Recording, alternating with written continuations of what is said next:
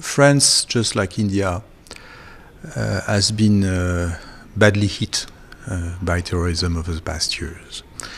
We know what terrorism is about, and we believe that there should be no tolerance, absolutely no tolerance uh, for terrorism anywhere in the world.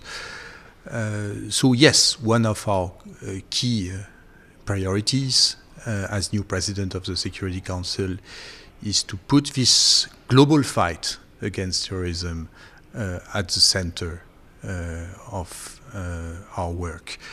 Uh, and well, yes, we'll push uh, uh, for the designation of Masood Azhar as a terrorist at the United Nations.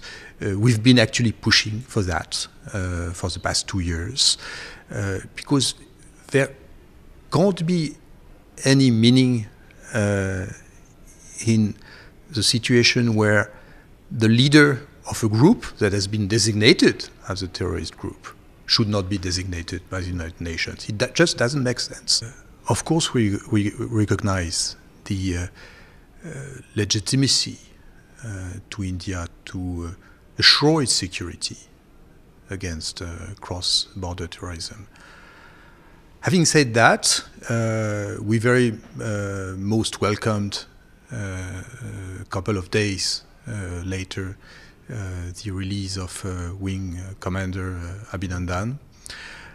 I think it's been a gesture of restraint, a gesture of responsibility from both government, and the easing of the tension was also a source of a relief.